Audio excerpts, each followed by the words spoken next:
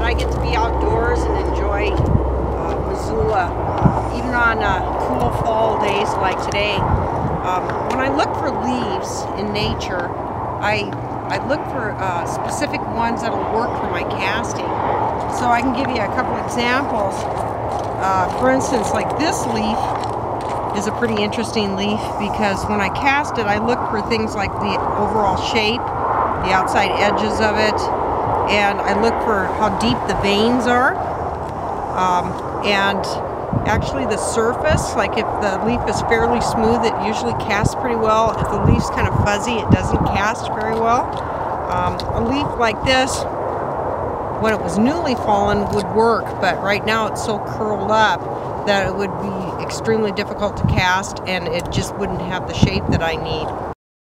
Once I'm back in the studio, I decide which leaves I'd like to try to cast based off of, not off of color, but based off of uh, the size of the leaf, the shape of the leaf, and the three-dimensionality of the vein structure in the leaf. So I end up actually casting a lot of leaves. Here's some examples of ones that I've casted in the past and I haven't done anything with. Uh, it might be because of the size or it's something that I might come back to at a later time and entertain using um, with a different background. Um, when I start the casting process, I actually layer the material on the back of the leaf. So everything's casted in reverse. And there's many, many layers of this material applied to the leaf. As a matter of fact, I probably do 10 to 20 layers, and it takes about one day in between um, each layer for it to dry. So it's a very painstaking process. Um, when I layer it, I start out by using a paintbrush to do the layers and then eventually I will switch to a palette knife and uh, place a lot thicker layers so that the leaf um, is built up quite thick and pretty sturdy at the end.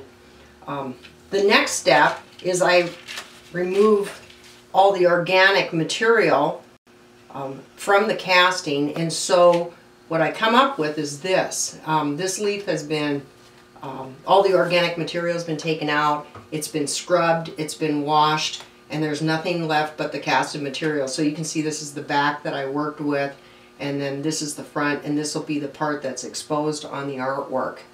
Um, when it's finished, it's very similar to porcelain, but it's slightly flexible. And as it ages, uh, this flexibility will actually uh, disappear and it will become quite stiff, almost like porcelain.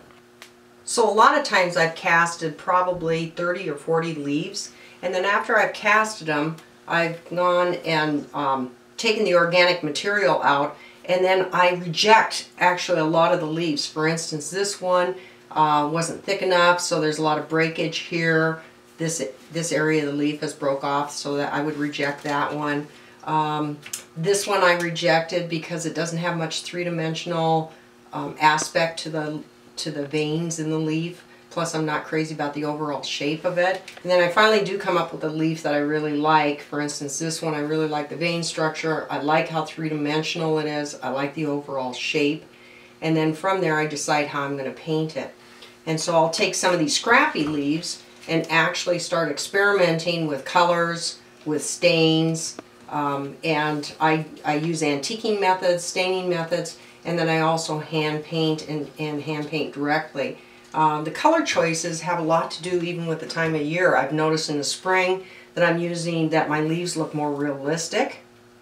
Um, during um, the summer months, my leaves almost become um, hyper-saturated in color. And then during um, I, what I call the gray months, so like uh, late fall into winter, um, I'll use a lot of neutrals.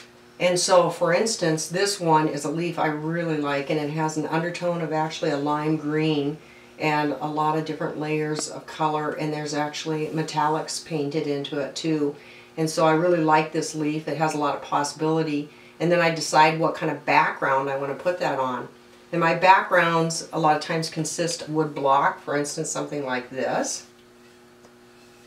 And other times I've used copper.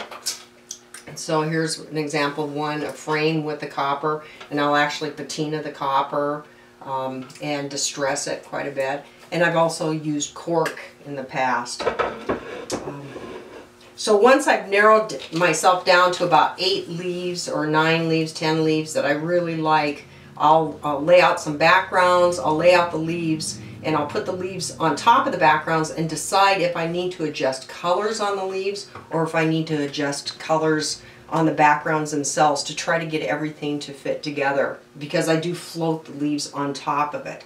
And you can see this one's a little bit more realistic in nature. It's called Unique. That one has a little bit more color, but it's fairly neutral. Um, the reason I love making leaves is I find it extremely relaxing. Uh, it's an evolutionary process. It's very kinetic. Uh, it grounds me to nature, and I, I guess I feel a sense of zen when I produce these leaves. I mean, it's it's like something I love deeply, being outside nature, and I'm I'm bringing it home to myself, and I'm actually sharing it with other people.